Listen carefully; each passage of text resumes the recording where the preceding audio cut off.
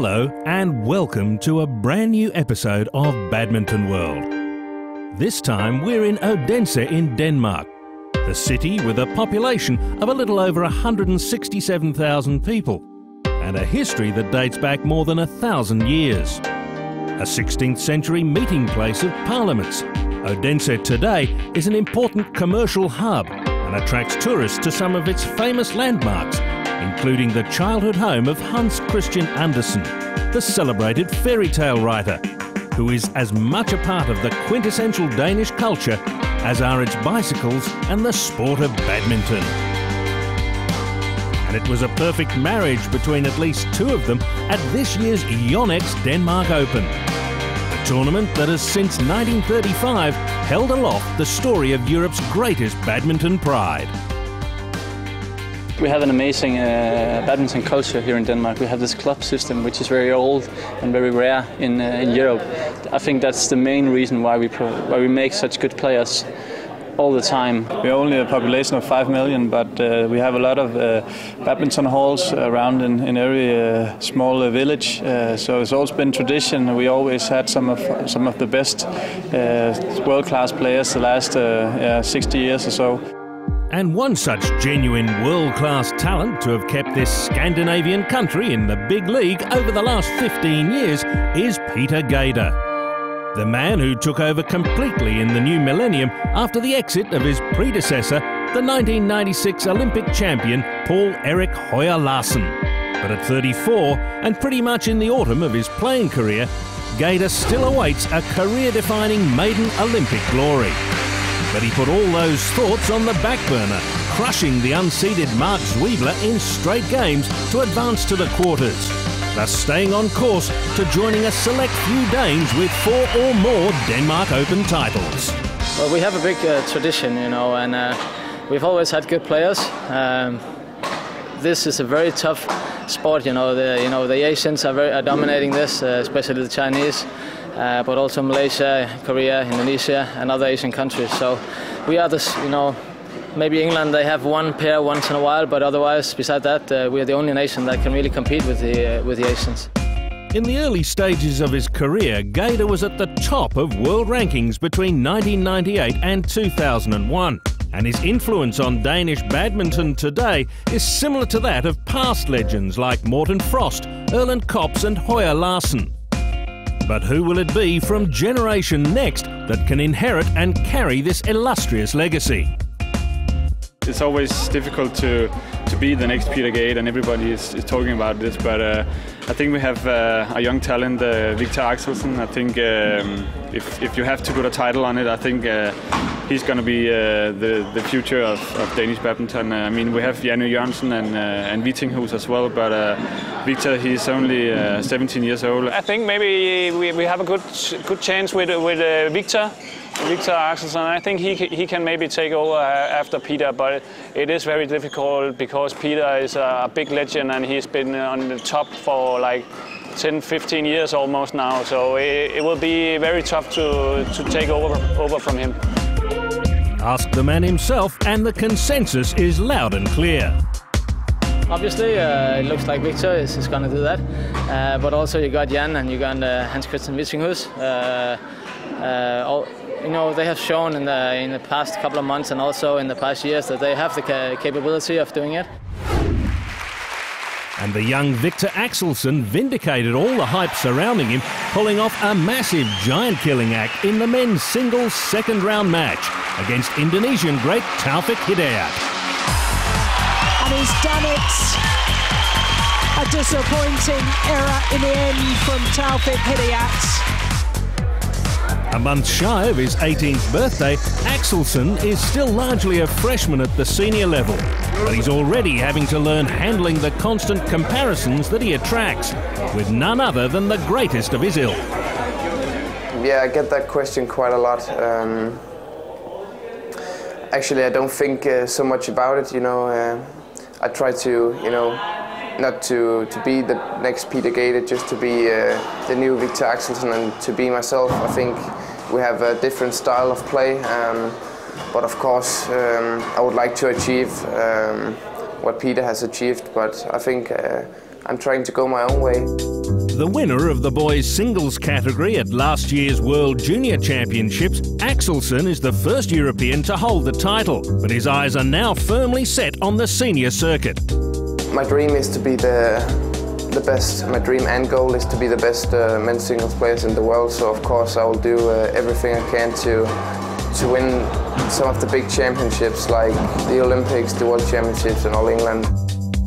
Ranked 44th in the world, the forthcoming London Olympics may still be a long shot for the teenager, but not quite so for the third Dane in round two, world number 13, Jan Jorgensen, went through to the quarters from the bottom half of the draw, comfortably beating Du Pengyu in three games in the end. But world number two, Lin Dan, made a shock exit in round number two, while top seed Lee Chong Wei advanced to the last eight, as did the third seed Chen Long.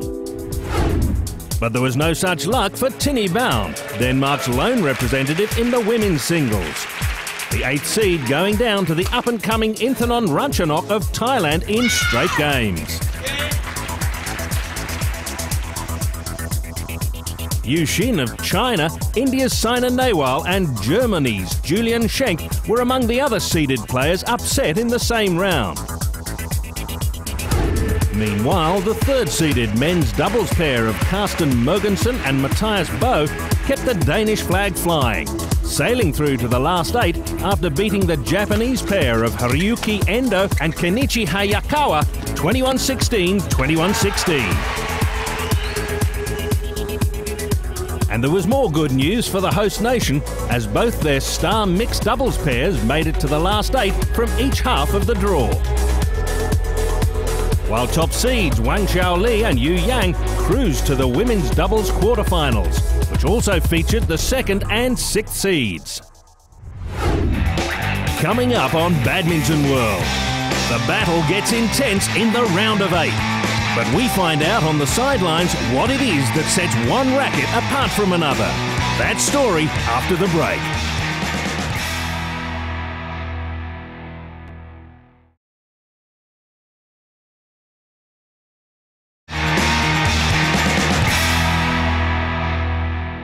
In the BWF Men's Singles Super Series rankings, Lee Chong Wei is number one, followed by China's Lin Dan and Denmark's Peter Gade. Compatriots Chen Long and Chen Jin occupy the next two spots, followed by Taufik Hidayat at six.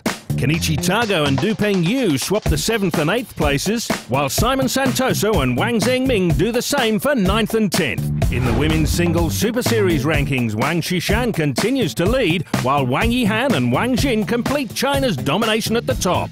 Julian Schenk has moved to 4th, pushing Saina Nehwal to 5th, while Jiang Yanjiao drops to 6th. Tine Baun is one up at 7, followed by Sayaka Sato.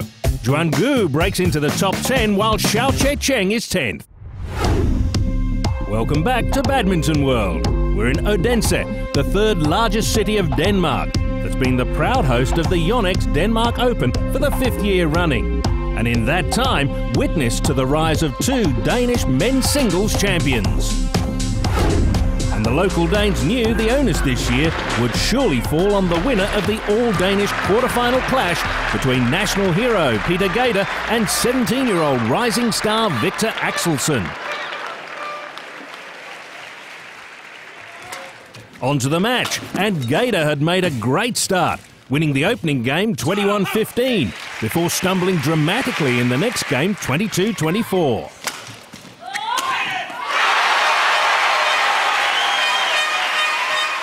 But the 34 year old veteran came back strongly to close the match with a fine 21 14 win in the final set. The win taking the three time Denmark Open champion to the last four, while also signalling the end of a promising show by a youngster in his own backyard.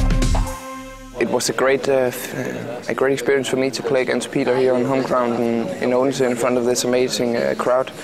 Um, yeah, the game was was a bit up and down, uh, but I think uh, I played quite uh, well second set, and I'm proud of that. But Gade was required to play possibly his best badminton of the tournament if he had to contain the top seed Lee Chong Wei in the first semi-final.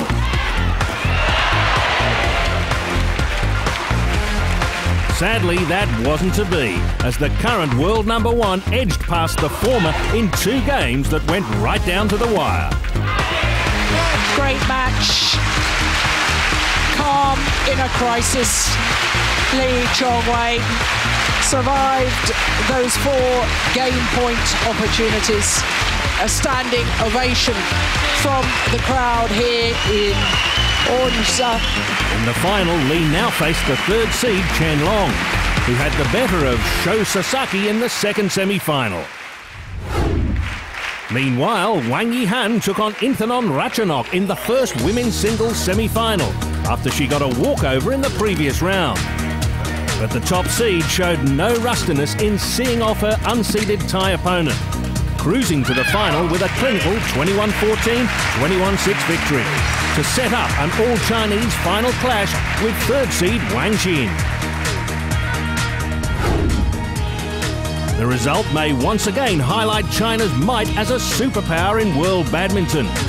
But the sport's world governing body is keen to take the game to the grassroots level around the world. BWF are working hard at the moment on putting together a schools, schools program, a schools initiative, and the title is going to be Shuttle Time. Uh, we've spent 12 months developing the actual resource, and the resource is just about ready now, and we're running pilot projects at the moment on each of the five continents. We've got projects going on at the moment in Morocco for Africa, in uh, Tonga for Oceania, in the Maldives, in Asia, so it's really interesting at the moment. We've got lots of different projects. Puerto Rico will start next week. We've got Brazil coming online as well. Ian Wright is a TV commentator and one of the brains behind Shuttle Time. He explains how this project is aimed at getting the best out of amateur badminton instructors in school. We're not trying to make um, the physical education teachers into coaches, but we're trying to give them just enough knowledge so they can deliver a fun, positive experience of our sport badminton. So the resource actually looks like 22 lesson plans that are ready made for the teachers. There's a manual that backs that up that gives them all the support and information they'll need. And when they go on the net to click on the lesson that they're going to use, they can click in the box and they actually get a video clip of what the exercise looks like, how to set it up for their kids, how it'll work, etc. So we're trying to make it as easy as possible for the teachers who in a lot of areas of the world have got no badminton experience at all. Back in Odense, Koreans Jung Jae Sung and Lee Yong Dae beat the Indonesian pair of Markis Kido and Hendra Setiawan in a tough three-setter. Look at the delight from Lee Yong Dae. They've come through a difficult match. The victory taking them to the final against top seeds Cai Yun and Fu Haifeng. Meanwhile, women's doubles second seeds Tian Qing and Zhao Yunlei stopped the gallant run of the unseeded Danes Line Damkjær Kruse and Maria Röpke 21-12, 21-5. An easy win to set up a final clash with fellow Chinese and top seeds Wang Xiaoli and Yu Yang for the third time in a Super Series tournament this calendar year. And while the winners approached the final day, it was time to take a closer look at their armoury. Racket stringer Jesper Hofgaard shedding some light on what sets two rackets apart. Some rackets can vary from being more flexible, more stiff. So, and, and each player uh, has a has a has their own wishes from what they want in a racket. Some some uh, player wants uh, a racket that is uh, head heavy or head light. In a head heavy racket, you play you can get a harder smash, but in a head light racket, you can move it faster through the wind. But no racket is world class until it's got the best strings attached. About 90% play with the Yonex BG80 that is the that is the best string to play with because it's it's the most sensible string and it's also pretty durable and uh, and it's pretty rough uh, on the on the surface. So it's yeah, it has good grip in the shuttle uh, and at the same time it's uh, it's made from from from a polyester and nylon material with a bit of Vectran in it to give it a bit more stability and, and strength and putting his Yonex racket to good use, double specialist Joachim Fischer Nielsen and his partner Christinna Pedersen sailed through to the last four of the mixed doubles, where they faced top seeds Zhang Nan and Zhao Yun Yunlei. In a battle of equals, the two shared the first two games before the Danes squeezed past the Chinese in a thrilling finish in the decider to reach their second successive Super Series final. Well, that is extraordinary. Joachim Fischer and Christinna Pedersen keep their unbeaten record against the current world champions. The duo now had just one barrier in the form of fifth seed Xu Chen and Ma Jin in their quest for the season's first Super Series triumph. Coming up on Badminton World, the final day in Odense when the Titans clashed and the coming together of Denmark's best mixed doubles pair of the moment.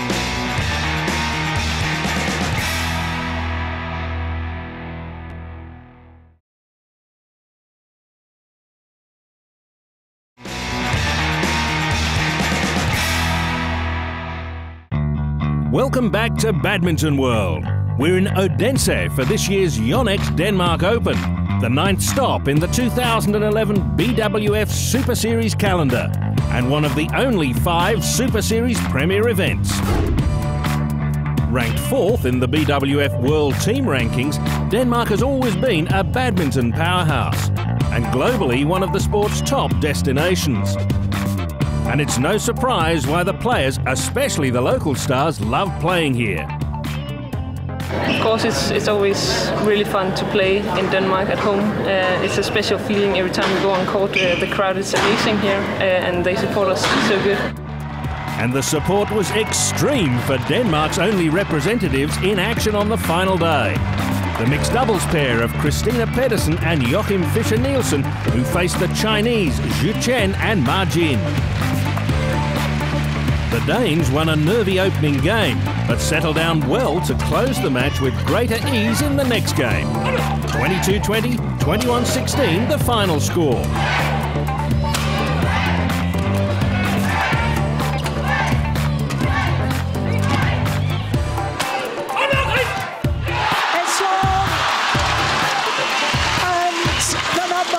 Seeds, Joachim Fischer Nielsen and Christinna Pedersen, have won their third Yonex Denmark Open title. The win giving the pair their first Super Series triumph of the season and also making it the fourth successive Danish triumph in mixed doubles in Odense. It's a great feeling right now. Uh, we've been playing really good this week uh, here in Odense, and it's just a great feeling to, to be here and have, and have won the whole tournament. That's easily the highlight of one sweet journey that the pair have undertaken since they got together a few years ago by a quirk of fate. We started playing uh, together three and a half years ago. Uh, but I had a partner uh, who got, got, a very bad injury, and, and then Christinna was. Uh, well, I wanted to play with Christinna, and, uh, and we started uh, playing together, and it has been a big, uh, big success. And along the line, the two have managed to pick up a few memorable victories, even outside of Denmark, spread here and there.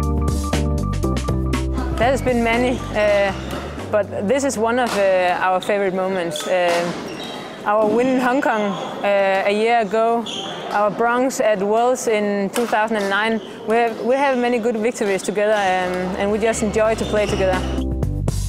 Runners up at the previous Super Series in Japan, the world's fourth ranked mixed doubles pair are currently in red hot form. So, what's been the secret behind their sudden surge? We have a really good team at home. Uh, we're practicing uh, with Kamilla and Thomas every day, the other uh, mixed double from Denmark. Um, and I think it's the key to, to be as good as we are.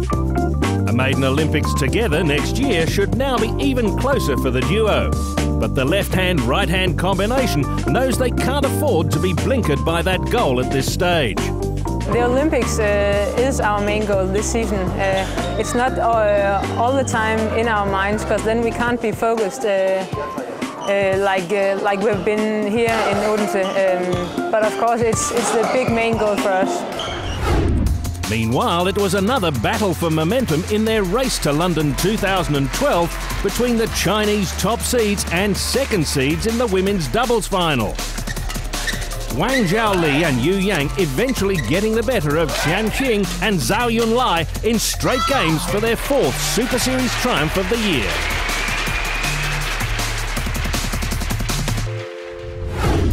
While in the men's doubles, Chinese Cai Yun and Fu Haifeng were playing their fifth straight Super Series final. And up against them were the sturdy Koreans, Jung Jae Sung and Lee Yong Dae. But the second seeds proved too good for the top seeds as they went on to snatch the match 21 16, 21 17. The win giving them their third Super Series title this year. Meanwhile, Chinese youngster Wang Yihan stood on the brink of winning a second successive Denmark Open trophy as she took on compatriot Wang Xin in the women's singles final. But that wasn't to be, as the third seed got the better of her higher rated opponent in straight games, well inside an hour. And this time she takes it. Delight for Wang Xin records her first ever victory over the current world champion Wang Yihan. Down to the men's singles final, and all eyes were on Chen Long, who it seemed had been enjoying every bit of his stay in Denmark so far, except, well, the Danish cuisine. I've enjoyed everything here so far. The infrastructure, the facilities, and the environment are all good. The only thing I'm not satisfied with is the food. But the Chinese world number three has shown enough stomach for the season's first hat trick of Super Series titles, having just triumphed in China and Japan. I was a little surprised to win the title because I never expected myself to do so, but I took the best out of my basic training.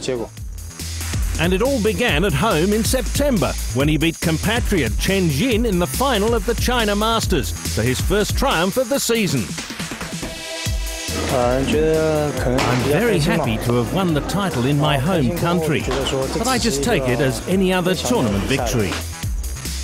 All of 22, Long has already bagged top honours at the Sudirman Cup, besides having been part of the gold medal winning Chinese teams at the Asian Games and Thomas Cup last year. And if he can keep his form going, an Olympics medal next summer shouldn't be far away for the youngster from Xiamen. And he took a giant stride in that direction in the men's singles final, where for the second successive Super Series event this year, he faced world number one Lee Chong Wei. The informed Chinese made the early statement with an easy 21 15 opening game win. Long taking the game after this extended rally ending just inside. Oh, that's right into the corner. Another misjudgment from Lee Chong Wei. Long carried the momentum well into the next game, not allowing the experienced Malaysian to settle down, eventually taking the game 21 18. Chen Long of China has won three consecutive Super Series titles. His first ever Premier Super Series title. The win making him the first man this year to win three back to back Super Series titles. China, Japan, and now Denmark all witness to the rise of a new star in men's singles. We leave you now with some standout moments from the 2011 Yonex Denmark Super Series.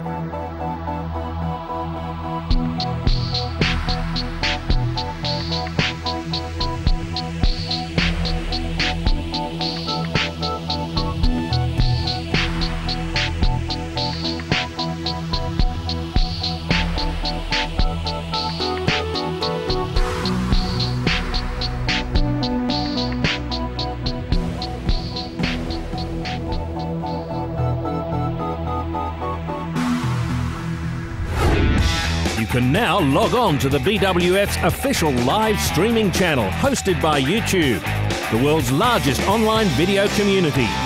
Just type in badmintonworld.tv for all the live badminton action from around the planet. Also enjoy access to a feast of match highlights, behind the scenes footage, and player profiles on the online version of the Badminton World magazine show. All this only on www.badmintonworld.tv.